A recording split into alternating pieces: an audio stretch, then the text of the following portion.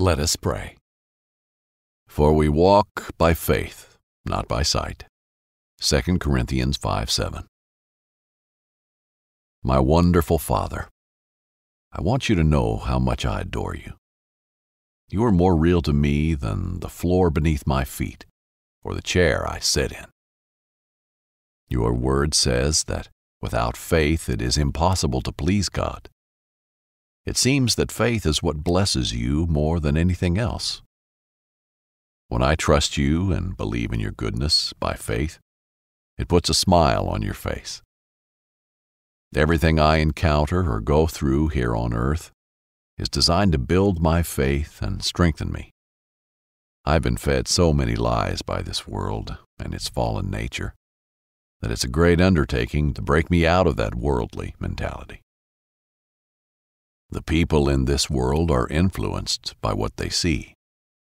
They live for what the world honors wealth, fame, accolades, and success. But I walk by faith and believe in the glories of heaven where my Savior lives. I believe there is a crown of glory waiting as a reward for those who love you. Living by faith is to act as if these things were true Faith is the substance of things hoped for, the evidence of things not seen. My natural eyes only see mortality, corruption, and misery.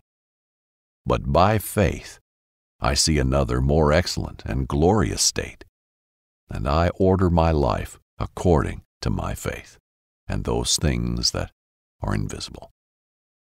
In Jesus' name, amen. Thank you for listening to today's daily prayer.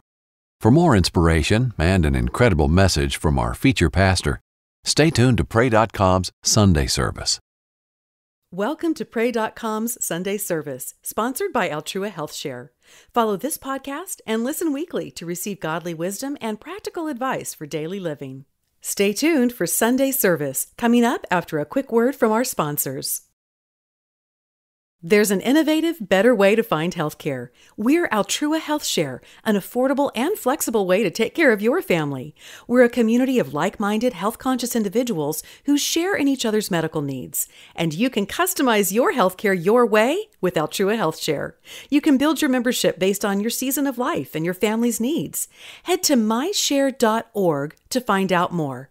That's myshare.org. Altrua Health Share, where we care for one another. This show is sponsored by BetterHelp. What are some things that you want to keep the same about yourself or your life in 2024? Where are you already crushing it? Think opposite of New Year, New You. Around New Year's, we get obsessed with how to change ourselves instead of just expanding on what we're already doing right. Maybe you finally organized one part of your space and you want to tackle another. Or maybe you're taking supplements every morning and now you want to actually eat breakfast too. Therapy helps you find your strengths so that you can ditch the extreme resolutions and make changes that really stick. If you're thinking of starting therapy, give BetterHelp a try.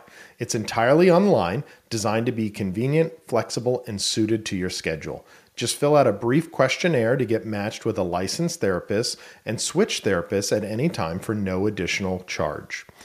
Celebrate the progress you've made. Visit betterhelp.com slash Sunday service today to get 10% off your first month. That's betterhelp, H-E-L-P dot com slash Sunday service. Hello, this is Matt Potter from Pray.com, and I want to tell you about this new juice cleanse I've tried from Squeeze.com. As someone who's always on the lookout for healthy ways to enhance my daily life, I must say this juice cleanse has been nothing short of rejuvenating. While drinking the juices provided by squeeze.com, I felt less bloated and had a noticeable increase in my energy levels throughout the day. This cleanse has been a game changer.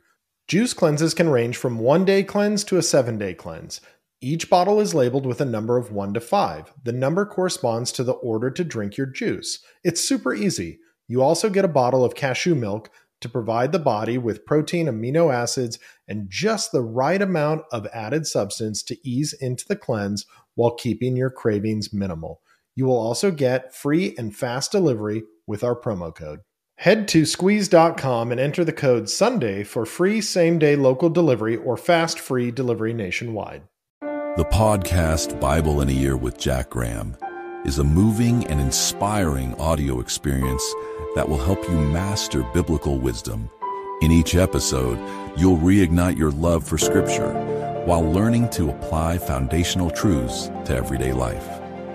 This podcast was created to help you solidify your faith as you experience the story of the Bible through live action recordings and emotional orchestral music. Each cinematic episode is a journey through the Bible's most profound stories that will strengthen your appreciation of the Word and inspire you to keep learning.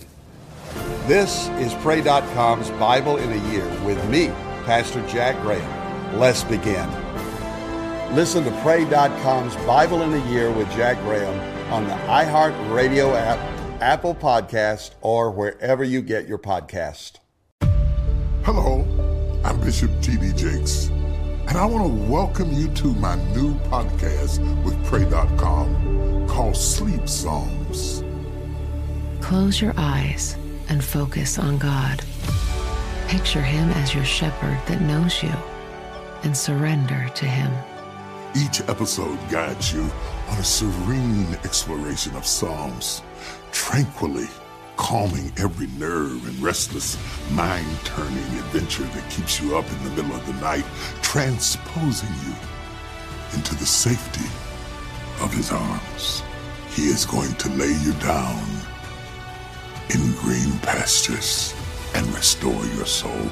Join me and let the Lord be your shepherd tonight. Listen to Sleep Songs with Bishop T.D. Jakes on the iHeartRadio app, Apple Podcasts, or wherever you get your podcast.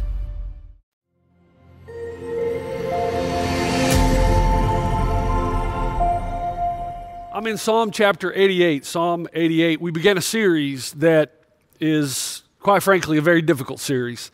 Um, it brought up some memories of my past, some of the struggles in my own life. And there's no way I can answer all the questions. It's very similar to our Holy Sexuality message series that we did early in the year.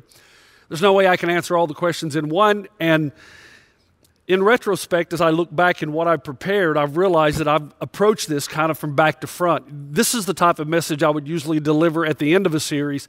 I've decided to put it up front because I want this, this message to couch or to be the foundation for everything we say after this, but make but rest assured we will cover these issues. Before we get into Psalm 88, I want to say something specifically to the next generation because they are suffering immensely from what we has been termed mental illness of various sorts. So we're asking why, doctors, physicians are asking why, medical centers are asking why this seems to be a pandemic right now. There seems to be a pandemic of anxiety, of depression, even bipolarism and beyond because mental illness comes in different phases, different effects, and different degrees. But can I say something, first of all? I, I, want you to know, as the younger generation, pep rallies will never sustain you. Now, you know, you've heard me define pep rallies. It's the rah rah part of your faith. And there's nothing wrong with the rah rah part. The rah rah part's good, it can lift your spirits. As long as you understand that they are temporary fixes, they never cure ultimately the disease. I know most of this next generation, because of the entertainment industry, are drawn to these type of things. And if you find it entertaining, uh, inspiring, captivating speaker, I'm drawn to them as well. There's nothing wrong with them now. Please don't misunderstand. I like to hear a passionate, extraordinary, on fire type of speaker. But that will not sustain you over the long haul alone. You need information, you need truth. You need something that's going to internally transform you, not just make you feel a certain spiritual high in the moment. My son has a friend that says, I'll tell you the kind of preacher I like. I like the kind of preacher that really gets me going. And that's good. So do I. Everyone does. But sooner or later, you got to move off the milk and get into the meat. The Hebrew writer says exactly that. This applies specifically to a series that we're doing on mental illness. Most of you, if you know my story, I have a history of anxiety disorder. In fact, preparing for this series, I found to be somewhat of a Kickstarter again to start the fire, a trigger. I remember and I reflected back in the three and a half years, there was a period I could not leave my house. I was shamed, ashamed because I disappointed my kids. We'd be out in public and I was about to take them to dinner and a movie, and suddenly I'd look at my wife and I'd say, You got to take me home. Why, Dad? Why? And I couldn't explain it. I felt like I was in a tunnel. I felt like the world, the roof, the sky was falling, which made no sense at all. And then there was the overwhelming sense of shame that a pastor who's supposed to be spiritually well put together would suffer this kind of mental illness. Can I tell you that when I suffered the most, I was at home and could not leave home and I read all the time. And two sources. I read my Bible all the time, which turned out to be better than I ever thought it could be. And second, I read everything I could about mental illness. I think I have read thousands upon thousands of articles by doctors in journals, in medical journals, by Mayo Clinic, Vanderbilt Hospital, on and on it goes. And let me tell you, I could cite all those, but let me tell you what I've learned in the first part of this series. Number one, the medical world simply does not know what causes mental illness. They have theories, they do not know. The second thing I can tell you with certainty is only Jesus can heal you. Only Jesus can heal you. You say, what about medicine? I'm a fan of medicine to a degree because it masks the symptoms. You think, well, why would you want to mask something? Because when you are suffering from mental disability, you need something to stop the wheels from turning so that you can start to think logically and practically and put things into your life that will ultimately defeat the disease, not just treat the symptoms. Medicine can help you function, but medicine, as long as you know, will never ultimately heal you when I was ill, people would come up to me and say things, suck it up, Pastor Jeff, you can do it. You know, you got Jesus in you. Just try harder. Trust Jesus more. You can do it. You can overcome. When the outlook is bad, try the uplook. You know, the victory is in you. It's already there. All of that is true. God has a plan for your life. All of that is true. I get that. But what people don't understand is when you're in mental illness, you're not processing properly. You're not thinking properly. And all these things are true, but they're just band aids. They're still treating the symptoms rather than the disease. I just sat in my doctor's office two weeks ago because I've had to switch doctors because we've switched care providers. And my doctor wanted to talk to me about my history, and he noticed I was on Zoloft. And he said, Tell me a little bit about this. And we talked for like an hour. I've never had a doctor spend that much time with me. I don't know if he was intrigued by me or if he knew I was the pastor of one and all and just wanted some time. Who knows? But I can tell you, I sat across the desk from this guy who's been in his uh, specific practice for over 45 years, well respected. And he looked at me and simply said, We don't know what causes mental illness, we just know how to treat it. And by treat it, he means we can control the symptoms, not cure the disease. Now, I'm not anti medicine. In fact, I'm a fan of modern medicine. I want to be careful here, but I'm not a doctor. I'm not a fan of the modern, uh, modern pharmaceutical companies and their greed. I'm not a, a, fan of that to get all Americans hooked on some kind of medication to solve everything. Got a problem, take a pill. I'm not a fan of that, but that doesn't mean that all medicine is bad. James Simpson, the discoverer of chloroform, was a dedicated follower of Jesus and couldn't stand to see women who were having babies be in such pain. James Simpson, chloroform. Jonas Salk, who created a vaccine for polio, saved many, many lives. But here's what you need to know in this first message mental illness is real. You can't just speak it away. We know that it is related somehow to past trauma, but not all the time to past trauma.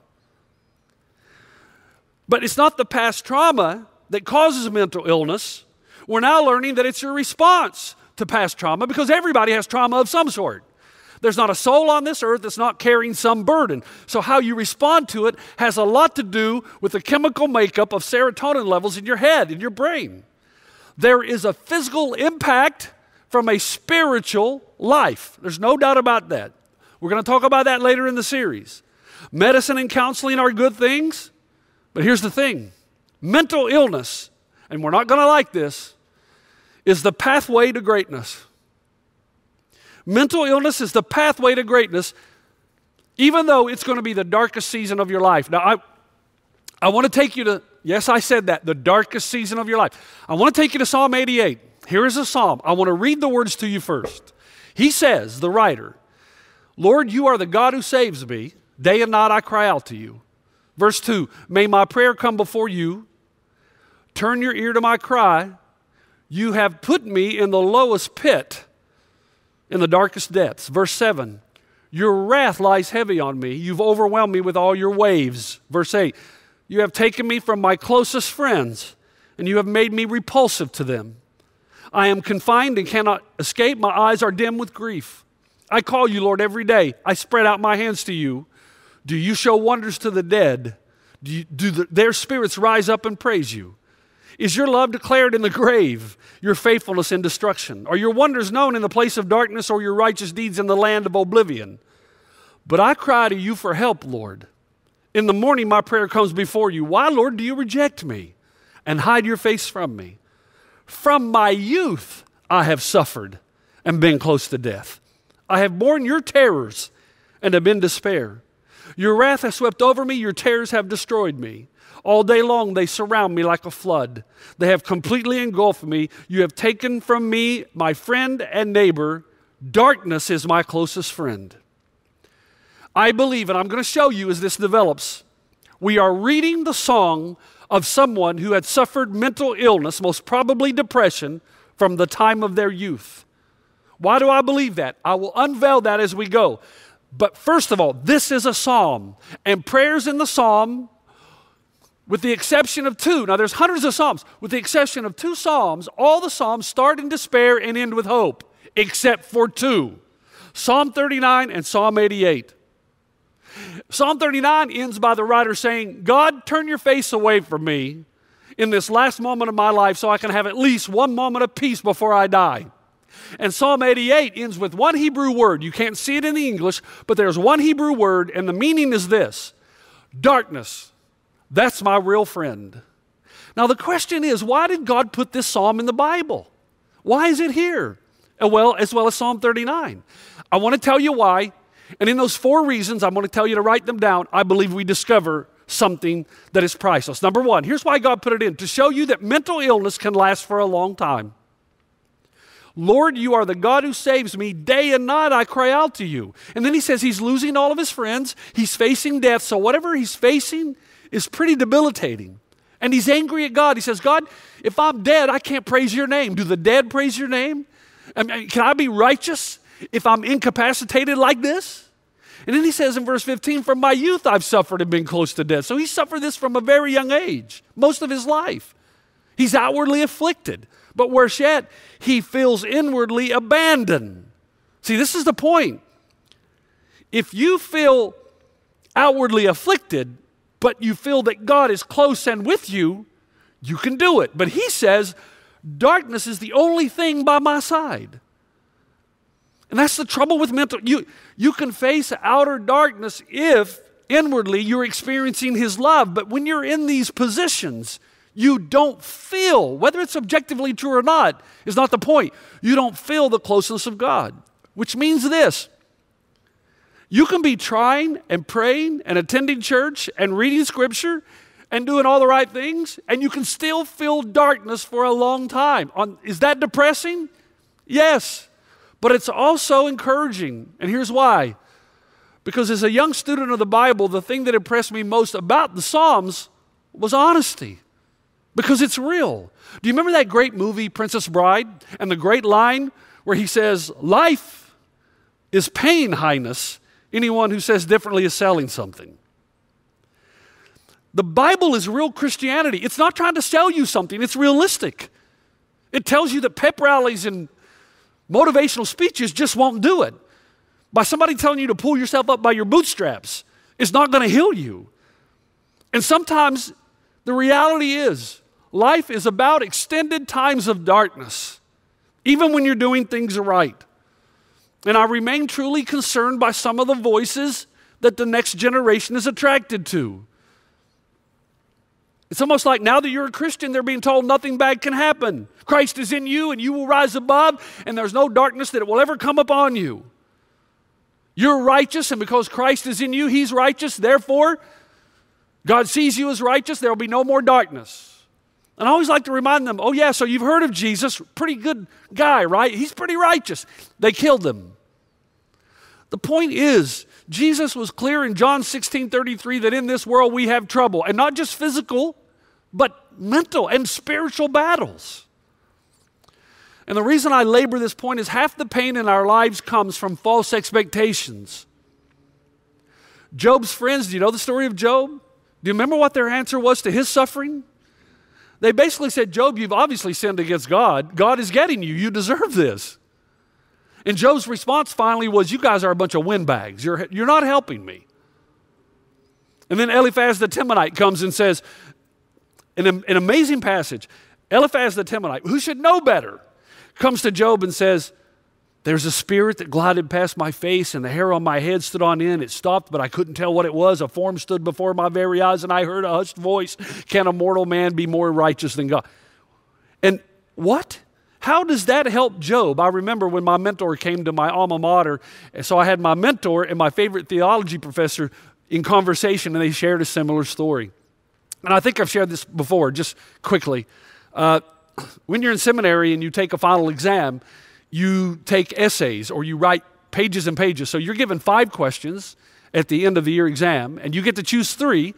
And each question will probably take 10 written pages, handwritten pages, to answer the question in full. And so, if you haven't studied, most students will participate in what is called padding. In other words, they know they don't know any of the answers to the question, so they'll just write, write, write, and write 10 pages of nothingness just so hoping that somewhere along all this fluff they will hint at the truth and they'll get some credit for the exam.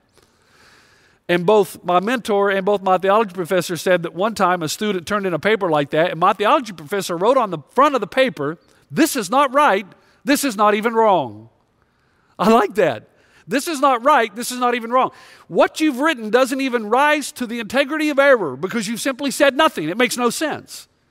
That's what happens often when we're experiencing something that our friends do not understand. They mean well, but what they say makes no sense and gives no encouragement and doesn't do anything for the healing. It might put a band aid on the symptom, but the disease is far, far deep.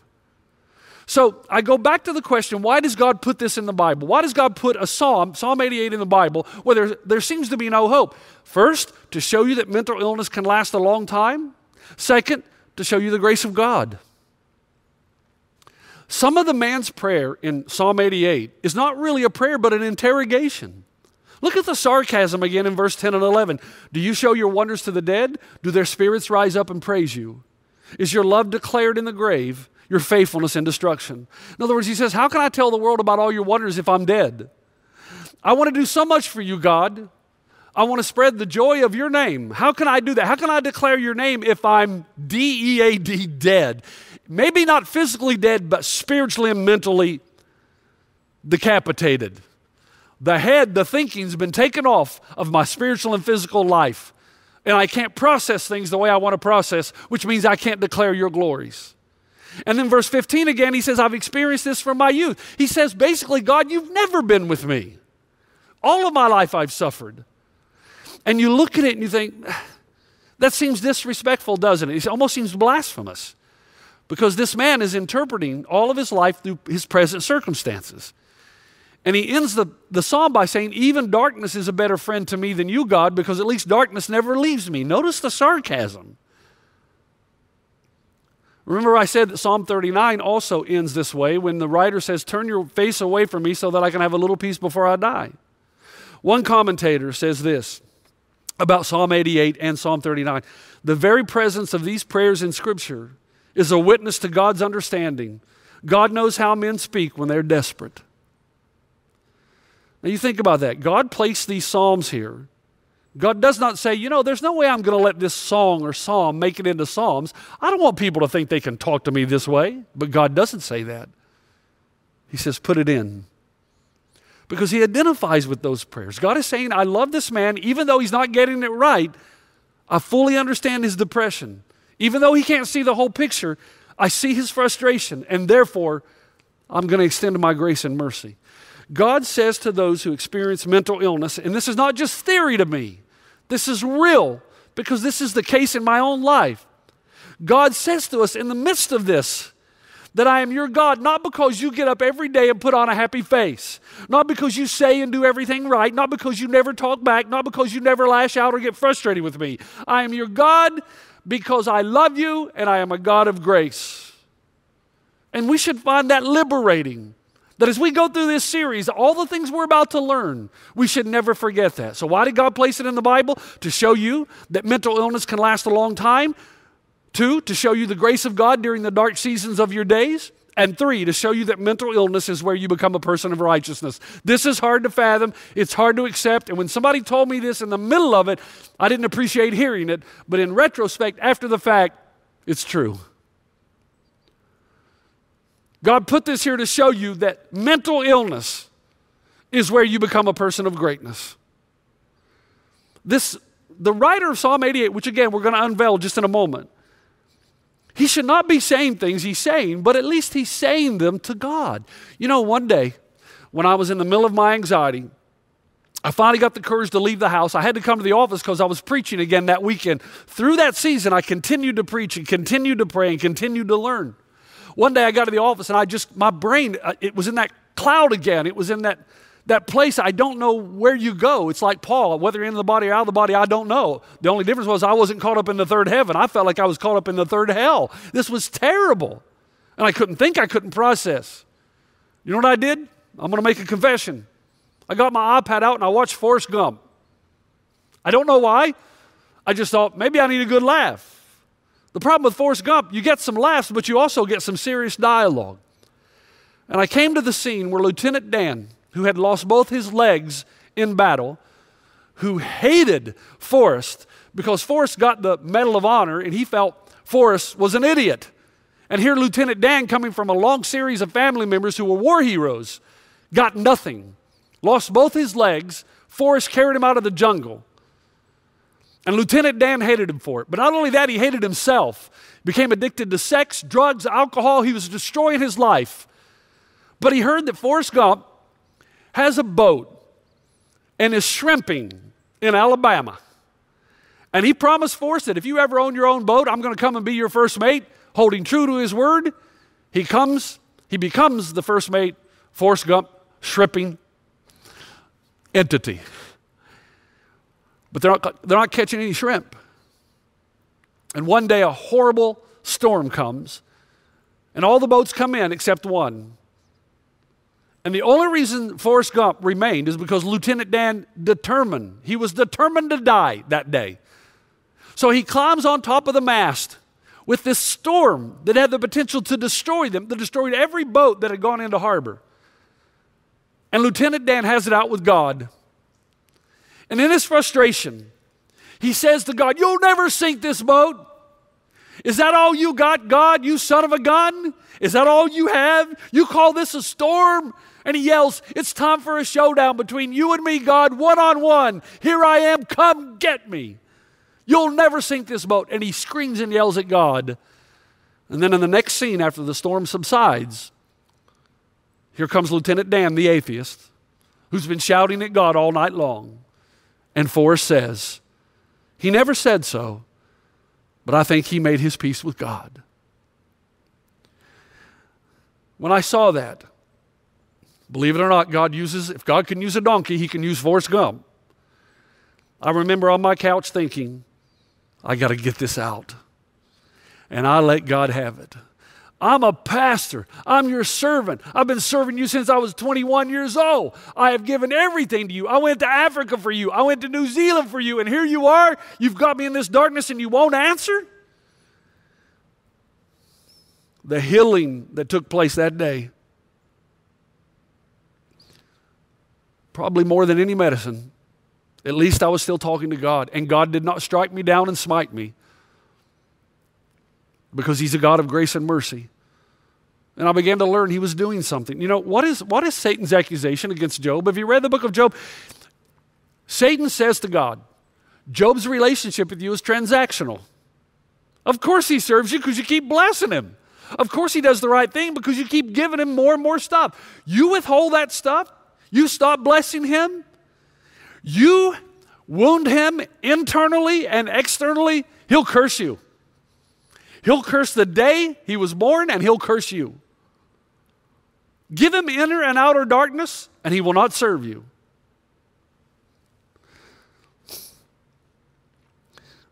That passage spoke to me because I realized that much of my relationship with God at that point in my life was transactional. That I had used people in the past as a means to my end, but now I'm using God. Did I really go to New Zealand and to Africa for God, or did I go for myself? Had I been serving Him for me or for Him? And you have to ask the same question Is Satan right about us? About me? About you? We all begin with that attitude because we come to God to get something, and that's natural. We want to be healed, we want to be saved. Those are good things. But if you never grow out of that, emotionally, you become a roller coaster because it'll be contingent on what you think God is doing for you at the present time. But God in our lives is trying to move us out of egocentrism, where everything's about us, into theocentrism, that everything's about God.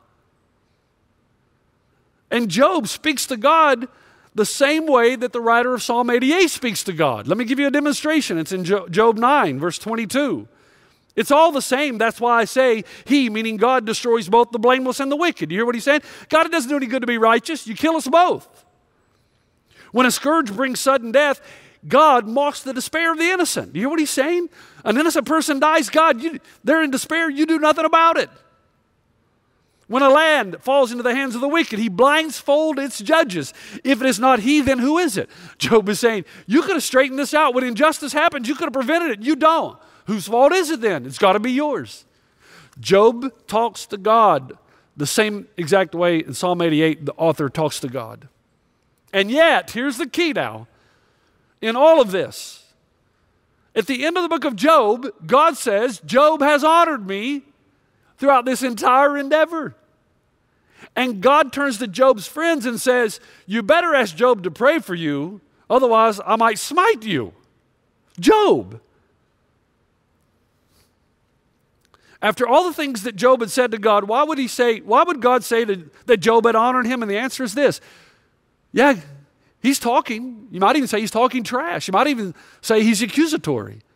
But at least he's still talking to God at least he's still communicating to God. He's angry with God, he's complaining to God, he's accusatory to God, and he's wrong in most of his assumptions. But at least he's still talking to God because he knows God's there. Even though he does not subjectively feel God, he knows God's objective presence is undeniable. And Job never walks away from God. He stays with God until the very end, and as a result, Satan is defeated.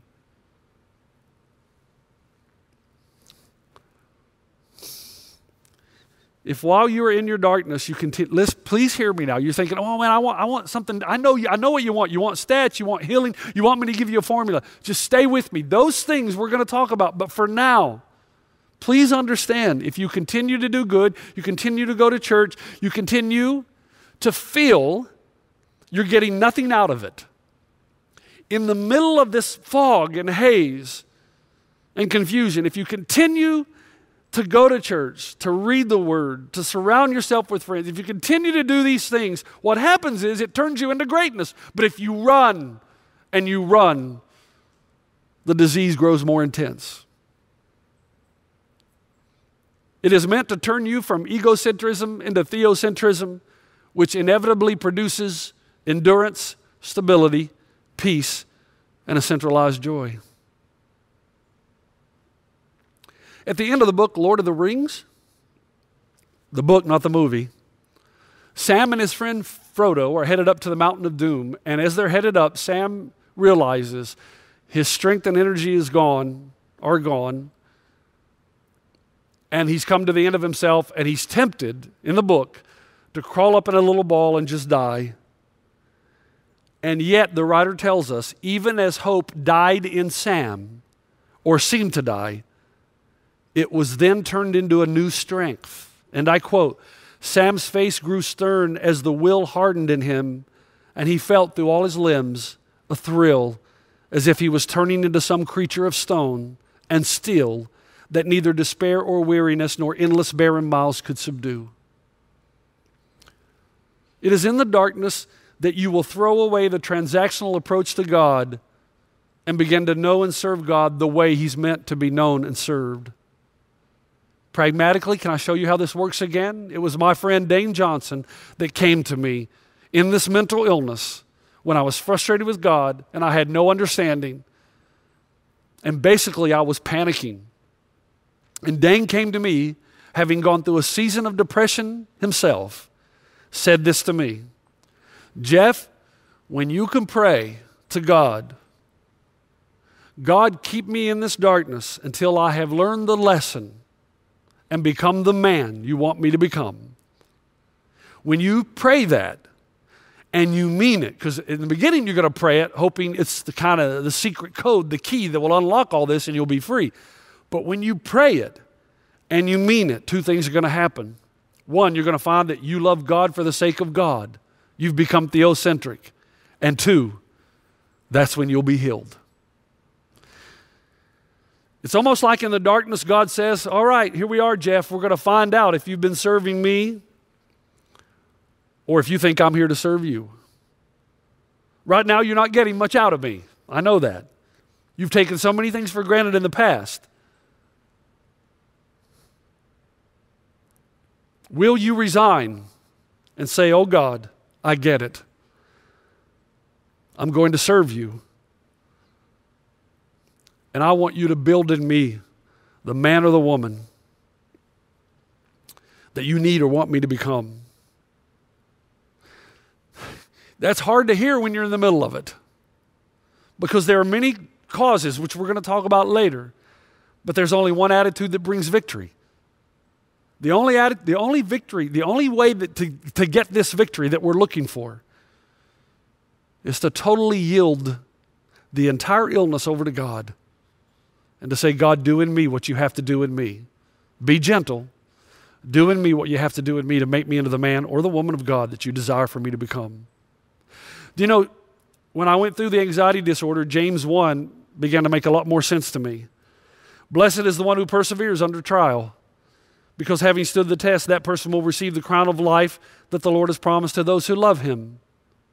I used to look at that passage as okay, if I, if I behave and I endure, then I'm going to get the crown of life. But what I think James says here the one who perseveres is the one who gets eternal life. So God wants to make sure that we persevere. So, to make sure that we persevere, our whole life becomes a training ground of endurance, teaching us to endure so that God can make sure those He's called will receive the crown of life. That somehow we turn into some creature of stone and steel that neither despair or weariness nor endless barren miles can subdue. Okay, let's end. Why did God put this in the Bible? To show you that mental illness can last a long time, to show you that God gives His grace in the darkest days of your life, to show you that mental illness is where you become a person of greatness. There's no doubt in my mind. But here's where some of you probably wish we would have begun to show you the darkness is neither objective nor permanent. Now let's talk about this. Do you know who wrote Psalm 88? The person who said, God, you're not there. This is permanent. The person who does not say, I don't feel you're there. No, he says, You're not there. He doesn't say, I feel that you've forsaken me. You have forsaken me. You've abandoned me since my youth. He believes that darkness is absolute, not relative, that darkness is eternal, not temporary, that it's objective, not subjective, but he was wrong. Now, who wrote Psalm 88? The answer is a man by the name of Heman, not Haman in the Esther story. Heman, H E M A N, and you will find his name in 1 Chronicles 6. And you will discover that David put Heman in charge of writing worship music and songs in the house of the Lord. Now remember, the Psalms are one of the greatest works of literature in history. Both historians, Christian and secular, will admit that.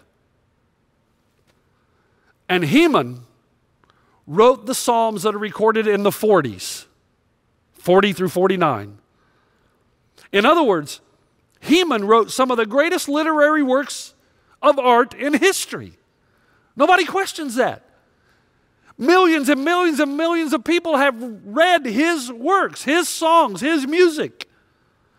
No author has had their works and artistic impressions read, contemplated, and discussed as much as those who wrote the Psalms.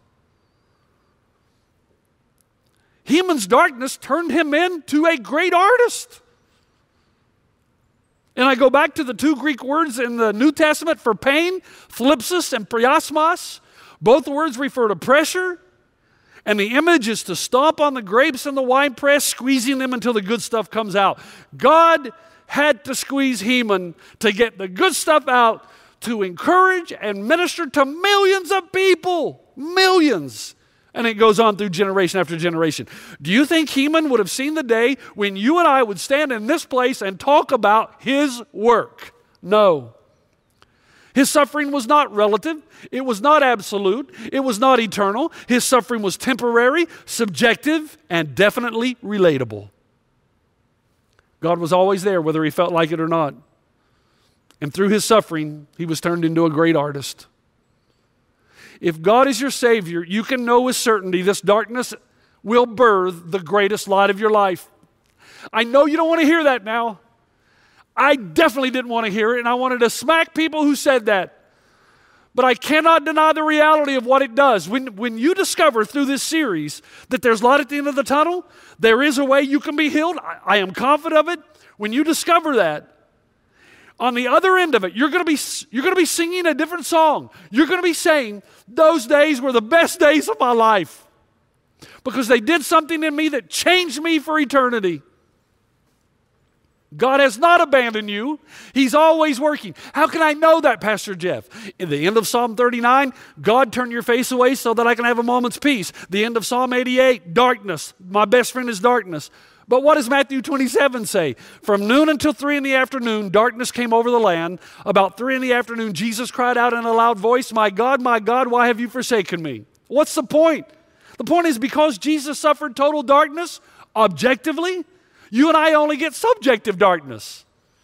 Because he did suffer abandonment, you and I only feel like there are times when God has abandoned us. But the reality is, because Jesus experienced the objective wrath of God, he didn't just feel abandoned, he didn't just merely feel the wrath of God, he experienced objectively the wrath of God and, the, and, the, and abandonment from God. He's the only one that can truly say, what the writer Heman says in Psalm 88 darkness was his only friend. The disciples left him, his own people left him, even his own father left him. Why? Jesus suffered the darkness and the abandonment our sin deserves. Jesus experienced the darkness as his only friend was darkness, so that in your darkness, Jesus becomes your true friend who's always there, who's always working, and who will never leave. In the garden, Jesus did not abandon his darkness. And if you think about it, in the garden, Jesus did not abandon us in the middle of his darkness. When the darkness came, he could have flown, he could, he, he could flee, he could have left, he could have said, No, I'm not going to do this.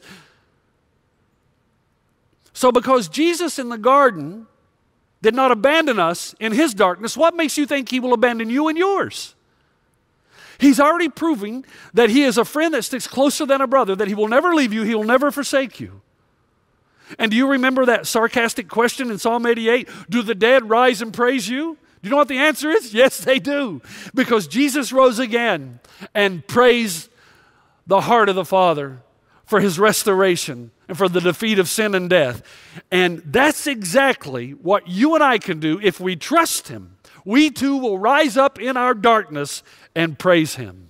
If you run to him, keep running, keep running, you will praise him for the deepest, darkest moments of your life. You know, there was a lady that used to come, just quickly, there was a lady that used to come every Easter when we used to meet at the Felix Event Center. We used to gather all our campuses and meet up at APU, and I would see her every Easter. She would force her way to make it to the service.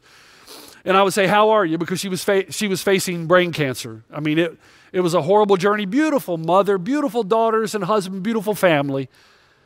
And every time I ask her that question, How you doing? How you feeling? Does it hurt? And she would always respond, Nothing that the resurrection can't take care of. Nothing that the resurrection. But the promise of the resurrection is not only in the life to come, but it's here and now that dead people, that dead bones can rise again, can rise up, can be lifted up. Michael Wilcock, in his commentary on Psalm 88, this darkness can happen to a believer. It does not mean that you're lost. The darkness can happen to someone who does not deserve it. It happened to Jesus. It doesn't mean that you've strayed. This darkness can happen to anyone at any time because only in the next world will such things be done away with unnecessary. This darkness can happen to anyone without knowing why, but rest assured, there is a purpose, and eventually you'll know it. You'll know it. For now, we see only a reflection as in a mirror, then we shall see face to face. Now I know in part, then I shall know fully, even as I am fully known. Listen. This darkness stinks. No other way to paint it. And it's true, your friends don't understand it until they've experienced it. It's impossible to explain. But can I tell you, as we go through this series, you have to keep this in mind. God is with you. God has never abandoned you. He is doing a mighty work in you. You're going to become a person of greatness. Yes, that's true. You're going to become a person of greatness. You're going to move from egocentrism to theocentrism. Your life is going to be about God. It's going to move past a transactional relationship into one that is so real and felt, it's going to change the rest of your life. If you will run and keep running to God, even when you don't feel He's there. I have so much more to say. Keep coming. Keep listening. Father, I pray for all our family members right now that are going through some type of mental illness. It is a pandemic of epic proportions in this country and around the world. Help me to explain the reasons why from the Word of God as we go through this series. Encourage those who are in the middle of it right now in this deep darkness. Encourage them, if nothing else, to remember they should speak to you what is in you, what not ought to be in them. To be honest with you, you're pretty big God. You can handle it. But to keep running to you, even if it's running to you in anger and frustration. And to remember that you will never leave them, that because you did not abandon us in your darkness, you will not abandon us in ours. Encourage us. And let us know there's a light at the end of the tunnel for healing but it's only in Christ. In His name we pray. Amen. The podcast, The Bible in a Year with Jack Graham, is a moving and inspiring biblical audio experience that will help you master wisdom from the world's greatest book. In each episode, you'll learn to apply biblical principles to everyday life. Each cinematic episode is a journey through the Bible's most profound stories that will strengthen your appreciation of the Word and inspire you to keep learning. Listen to the Bible in a Year with Jack Graham on the iHeartRadio app or wherever you get your podcasts.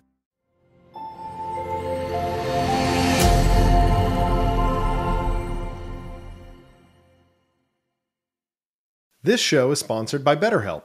It's a simple truth. No matter who you are, mental health challenges can affect you, and how you manage them can make all the difference. That's why everyone should have access to mental health support that meets them where they are and helps them get through.